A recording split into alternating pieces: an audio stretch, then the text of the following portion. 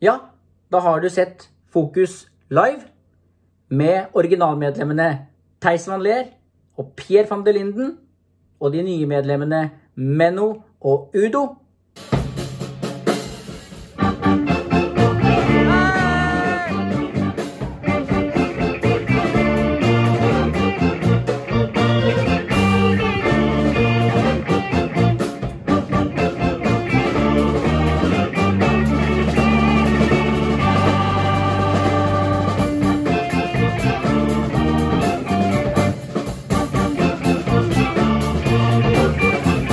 Og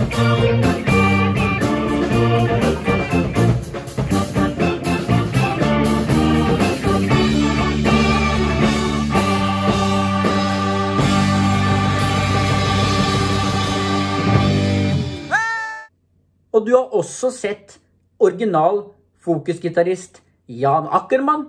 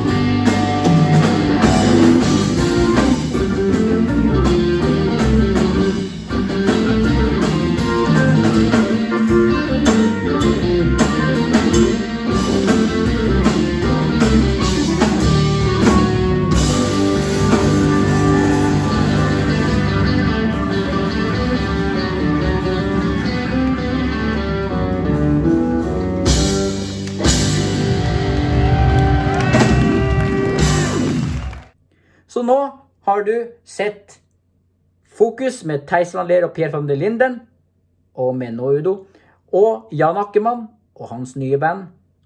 50 år tilbake i tid så var det de samme tre medlemmene, Theis van Leer, Pierre van der Linden og Jan Ackermann.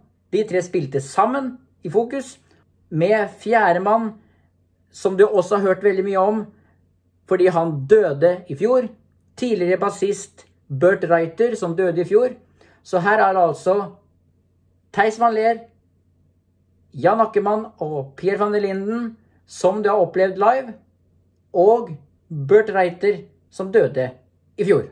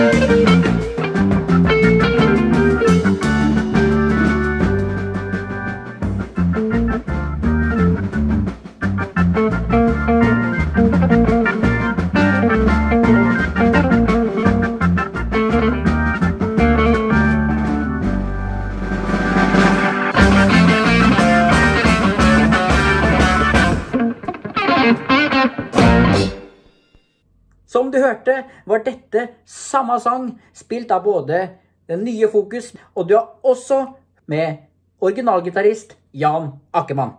Og klassiske Fokus fra 70-tallet med Theis, Jan og Pierre og Børt. Sangen heter Anonymous. Takk for meg.